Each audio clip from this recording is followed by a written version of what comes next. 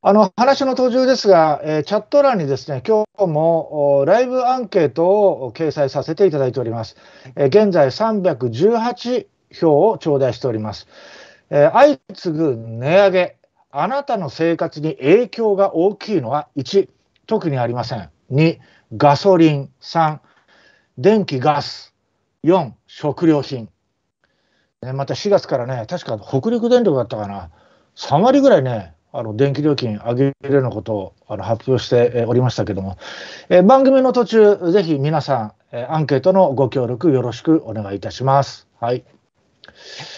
えー、それではまあ5番はいいですね。もう一言いきます ?5 番、5番、5番なんだっけ？はい。吉田議員。これが中野区の共産党議員、残念という。これに対する私のコメントだけちらっと出していただきます。おおしまいにしまし。はい、じゃあお願いします。はい、はい、はいえー、まあ、こういうコメントを付けさせていただきました。これが中野区の共産党議員、残念というほかない。あ、すごいな。この時点で2000件いいねがついてますね。はい、ありがとうございます。はい。いやいやいや、えー、はい、えー、それでは、えー、今度は岸田政権の行方ということで、6番よろしくお願いいたします。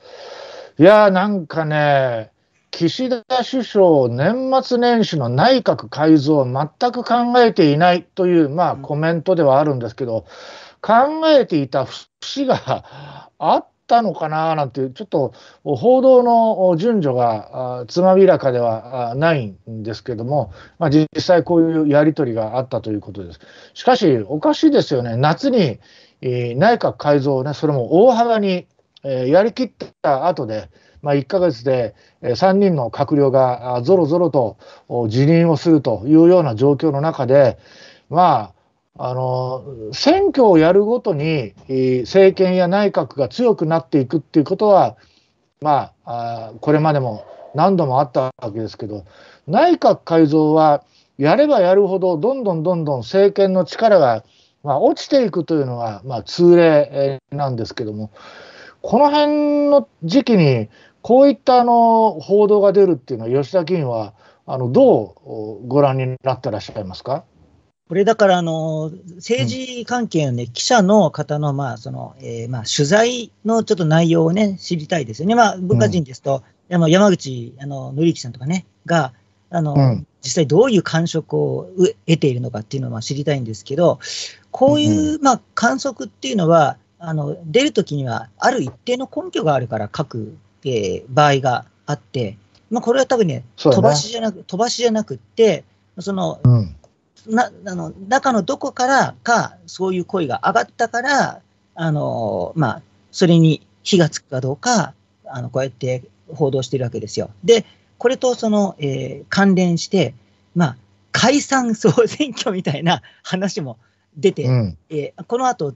出てくるのかな。あのまあ解散についてはね、あのそれで嘘ついていいってことになっているので、まあ、まあ、慣例ですけど、なっているので、まあ、いずれにせよ、なんかその、なんかこう、突破するためのなんかは、一生懸命考えてるんじゃないんでしょうかね。うんあの今、吉田議員の話にありましたように、7番、ちょっとスタッフさん、お願いします。えー、時事 .com のツイッターですけども、年明け解散、憶測消えず苦境の岸田首相を、反転、えー、かけ反転へかけ？ですね、えー、岸田文雄首相が来年1月に衆議院解散・総選挙に踏み切るとの憶測がくすぶっています。政権内の多くは否定的ですが完全に消えず野党も警戒を強め始めましたと。うんまあこれはね実はあの国会議員の間でもそういう話が出ているということはあの私もあの承知しています。でただねあの今ここで仮に解散総選挙をやった場合でも野党があまりにもクソめそにあの状況が悪い。であと10増10減えー、衆議院のですね、あの、選挙区が、あまあ、増える、減る、でそれに伴って、えー、区割りが、あのー、今、ちょうど周知徹底しているという状態なんで、まあ、早めに選挙をやっちまえば、野党にとっても非常にこう不完全な状態での選挙戦の突入と。でなんだかんだあの岸田政権の支持率はひどいにせよ、まあ、自民党の支持率はまあまだあ立憲民主党や野党に比べたら高い分があるんで、支持率が本当に悪い状態、また内閣の支持率が低い状態でも、野党があまりにもひどいので、もしかすると、まあ、議席が70から80ぐらいは減るものの、まあ、負けたというような選挙にはならないんじゃないかって、こんなね、えー、流れがあのあるということは、これ、事実ですよ。その辺は吉田議員、どう思われます？あはい。あのそういうお話は何度か、そのプロのというかね、うん、あの政治記者の先生方からも聞いていて、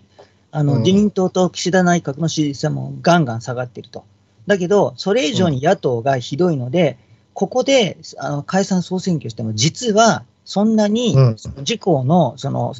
そうそう、勢力が負けないんだと。だから、そこ、それもあって、実は、その岸田さんは、あの、強気なんだっていう、まあ、観測があったわけですよ。それで、あの、秋口解散とか、いろいろその、あの、一時期、その、それが上っては、まあ、いろんな例の統一,、統一問題、統一教会の問題とかいろんなことがあって、立ち消えになったり、でも常に、あの、解散しても野党がひどすぎるから、そんなには負けないっていう状態が実はずっと続いてるらしいんですよね。そうね。うん、はい。なので、どうせ、あの、やるんだったら、負け方が一番マシなうちにやっとけ、みたいな、うん、そういう、まあ、その、セカンダリーな、まあ、判断というのは、まあ、常にずっと、まあ、カードとして、切るカードとして持っているらしいんですよね。そういうふうに聞きました。そうですね。まあ、なかなかね、そこまでの決断に至るかどうかっていうのはまた別の話ですけど、まあ、そういう話もあるということで、ここで押さえておきたいなと思います。はい、えー、それではスタッフさん、8番お願いします。MI2 さんのツイッターですね。えー、文春オンラインにおいて、岸田文雄首相も選挙で、空白領収書94枚、公選法違反の疑い報道について、岸田文雄総理大臣、添付書類の領収書の記載の一部に 不十分な点があることを確認している、今後このようなことがないように事務所に対して指示を出したということなんですけど、吉田議員もあの選挙をね、はい、これまで何度も戦われて、えー、選挙が終わった後収支報告書を出しますよね。はい、えー、で所管の選挙管理委員会に持ってくじゃないですか。えー、この岸田首相のこの領収書空白98枚っていうことについて、僕、本当これね、あのよく選管が受け取ったなっていうことも非常にあの疑問なんですけど、そんな実感持ちません？だから、まあ、僕らみたいなあのちっちゃな議員だと、許されないことが、偉い国会議員の重鎮だと、もう選管も文句が言えなく言えなくて、受理しちゃうのかな、うん、しかも、これ東京戦艦じゃなくて、多分広島の戦艦でしょうから、あの、うん、なんつったらいいかな、まあ、余計その東京ほ厳しくはできないんでしょうかね。っていうふうに思いますよね。うん。あれ、僕も自分であの収支報告書、そうですね、まあ、政治活動、今21年目になりますけど、あの3回、3年ぐらいは自分でやってたんですよ。ええ、で、領収書ね、本当やっぱり大阪の選挙管理委員会は細かく細かく見るわけでね、こんなあの空白の領収書をもし出そうもんなら、普通、選管がね、受け付けないんですよ。中野区の選管はどうです？いやいや、受け付けないっていうか、これだと、いやあのあなたが困ることになりますよって言って、あのまあ、指導してくれますよ。うん、あの要するに、オンブズマンとかね、ねあの情報公開請求とか、うん、ガンガン来るから、あのこれで、まあ、なんとかな、えー後々説明ができなくて、あのまあうん。まあ、ああのあなたが困りますよっていうことで、そうですよねってあのちゃんとやりますよ。ねえ。だからね、まあ、もちろんその事務的なミスとか、領収書の1枚、2枚がね、あの空白の領収書が、まあ、紛れ込んじゃってるってことは、まあ多分ああるとは思うんですよ、多分ね。だけど、戦艦がね、これをよく受け取ったなっていうのそっちの方がね、気になってあのしょうがないんでね。えーあスパチャをいただきました、樫本誠さん、320円です。どうもありがとうございます。えいかに政治に関心が低い人たちを保守に引きつ、引き込むかが重要になってきますということですね。えーまあ、この、なんていうかね、寺田総務大臣の件しかり、えー岸田首相の空白領収書しかり、まあ、重要なことではありますけれども、国会の審議を止めてでもやるようなことかといえば、ちょっとそうでもないと思うけれど、世論は多分こっちの方に必要に食いついてくるんだろうな。えいや、っていうかね、ー関連でやっぱり9番。あ、どうぞ。はいはいあ。やっぱりね、お公なので、で公金ですから、あのうん自分であの物売って稼いだお金じゃなくって、税金から、まあ、支給されるお金ですから、やっぱりちゃんとしなきゃいけないわけですよ。で、もう僕らみたいな、もう区市町村議員だとね、秘書なんかもいないで自分でやりますけど、まあ、うんし総理大臣とか、なんとか大臣ぐらいのあの大物政治家であれば、公設秘書3人と施設秘書何人も雇って、公認会計士とか税理士の支援者もいるでしょうし、それは本人が一生懸命こう鉛筆舐めてね、あの領収書くぐってやれってんじゃなくって、本人がやらなきゃいけませんって義務付けられてるわけじゃなくて、ちゃんとその事務所として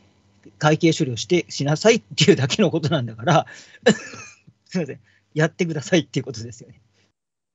いや、まあ本当そうですようん。ちなみに、あの、うちの事務所は、会計担当者が、あの、まあもちろんおりますけれど、戦艦に持っていく前に、必ず、あの、顧問税理士に、あの、全部うちはチェックしてもらってます。ええ、お金をちゃんと出してですね。ええ、まあ、だからいいとかじゃなくて、まあ、やはりあの、もちろん会計責任者やあと監査だとか、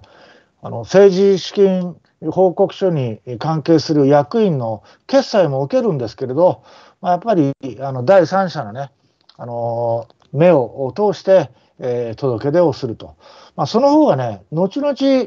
仮にね、あのミスはありますよ。えーそれでもある。うん、だけども、まあ、一応きっちりとね、やってるっていう、まあ、裏付けにはなるのでね、えー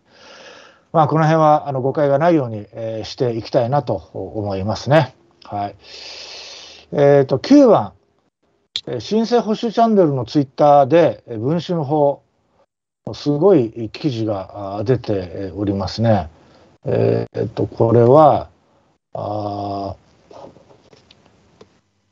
ん？あ関連記事ですね。えはい、そうですね。ーえっと、ちょっと待ってください。えー岸田法論氏、菅？菅さんがこれ4月までだなって言ってるの？という記事ですね。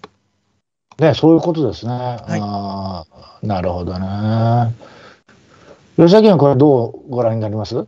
まあ、まあ、こういうのは、ちょっと、あのー